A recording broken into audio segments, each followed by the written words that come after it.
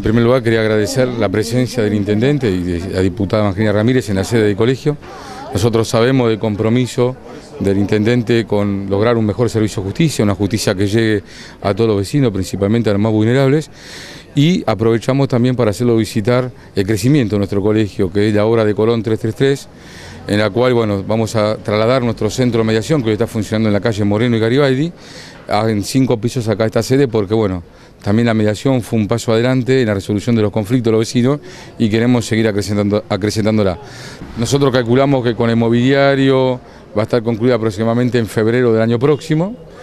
Y nosotros como gobierno tenemos que nos debemos a la gestión de las instituciones, ayudar a la gestión de las instituciones.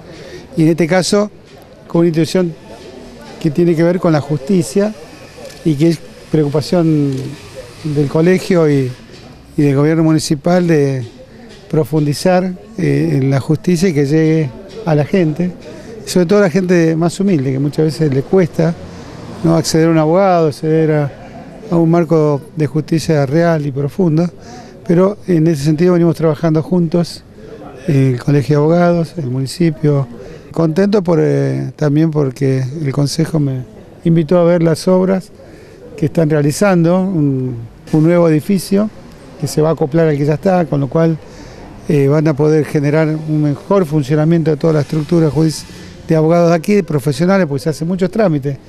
Y por otro lado, trabajar juntos para lo que queremos todos los quilmeños, que es la ciudad judicial de Quilmes. Ustedes saben que ya está comprado las tierras.